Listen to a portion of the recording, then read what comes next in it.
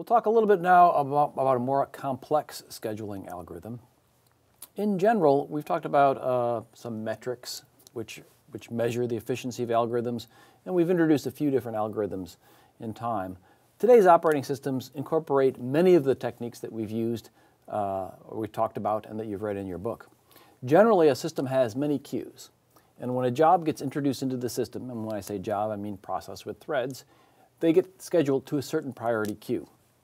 The scheduler, when it runs, just goes to the highest level queue that has a job, pulls that queue from the front of that job, executes that queue, that job, and when that job finishes, it puts it back in one of the queues. It may put it back in a higher priority queue, or it may put it back in a lower priority queue, or it may go back in the same queue. For instance, if it sees that the job is using a lot of CPU, it may say, hmm, uh, for fairness reasons, I'm going to drop the priority a little bit.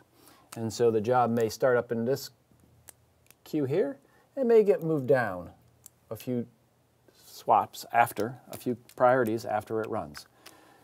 The queues themselves may have different algorithms. Oftentimes in the lower priority queues, where you have longer running jobs, the quantums are longer, so we can get a higher throughput. If a job is I.O. bound, the priority may be boosted. This can approximate shortest job first. If a job is interactive, uh, or maybe in the front of your screen as in Windows, it could go into an interactive queue. So it gets the CPU when it wants the CPU. If it's a background job and doesn't require a lot of attention, it may go in a very lower priority queue. In this case, you have to worry about starvation. And so oftentimes the system will run through the queues and see if any job hasn't run for a while. And if it has, it hasn't, it'll boost it, give it a starvation boost. So a lot of these algorithms work together to try to meet the best of these criteria. Which brings up the question, what's the most important thing to optimize for? We've talked about CPU utilization, which is the amount of time a CPU is busy. We've talked about wait time, which is the amount of time jobs wait to get the CPU. We've talked about turnaround time, the time from the entry of the job till it's finished. Throughput, number of jobs per unit time. Response time, how quickly the job responds. And fairness.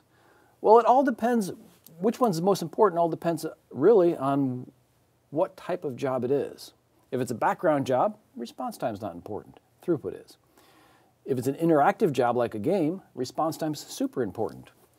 All up, the, probably the three most important things are throughput, getting as much done in a unit time as possible, response time, making the job feel responsive to the user, and fairness, making sure that jobs don't starve over time. What you'll find is that these are in tension with each other. Higher throughputs often come at the cost of response time. Better response time sometimes hurt throughput. So balancing all these things uh, in a system uh, is a tricky situation that the scheduler deals with. Thank you.